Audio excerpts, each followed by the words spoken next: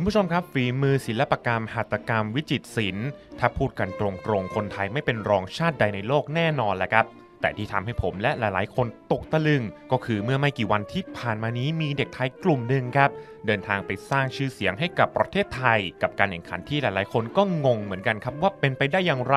ที่คนไทยนั้นจะสามารถคว้าแชมป์โลกแกะสลักหิมะ ที่เมืองฮาร์บินสาธารณรัฐประชาชนจีนทั้งๆทที่ประเทศไทย ก็ไม่เคยมีหิมะตกมาก่อนเลยครับ โดยทีมที่คว้าแชมป์โลกไปครองในปี 2018 นี้นะครับก็คือน้องๆ และคณะอาจารย์ จากวิทยาลัยอาชีวศึกษาอุบลราชธานีครับคว้ารางวัลชนะเลิศ บวกกับรางวัล Best Technical Award 2 ปีติดต่อกัน และเป็นครั้งแรกของโลกเลยนะครับ กับผลงานที่ชื่อว่าอาชา ปักษามัชฉาวารี เมื่อดูจากภาพแล้วก็ต้องบอกเลยครับว่าสวยสดงดงามไร้ที่ติจริงๆเลยครับ ความรู้สึกก็ดีใจครับ เพราะว่าเป็นอีกปีที่พวกเราได้ไปแสดงศักยภาพและความสามารถ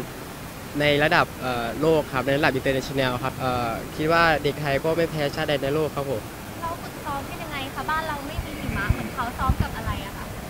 ฝึกซ้อมจากเรา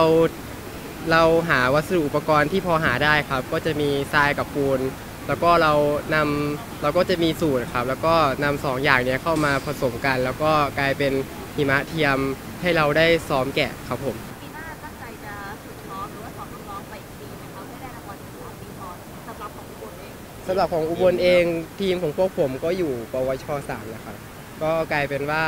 ปีหน้าก็เข้ามาหาลัยแต่ว่าเราก็เตรียมตัวเทรนรุ่นน้องไว้เรียบร้อยแล้วครับผม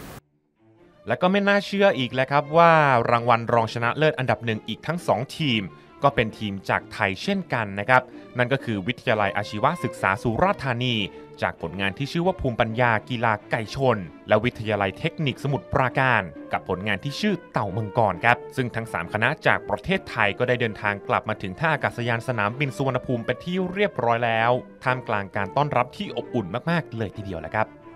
อึ้งกันเข้าไปใหญ่เลยครับที่เราจะบอกว่า นี่เราไม่ได้เป็นแชมป์โลกแกะสลักหิมะแค่ปี 2 ปีหลังมานี้ แต่ครองแชมป์มาแล้ว 9 จาก 10 ครั้ง ผมว่านี่เป็นเครื่องยืนยันได้แบบไร้ข้อกังขาเลยว่าเด็กไทยของเราเนี่ยเป็นสุดยอดของโลกที่ไม่เป็นรองใครจริง ๆ ครับ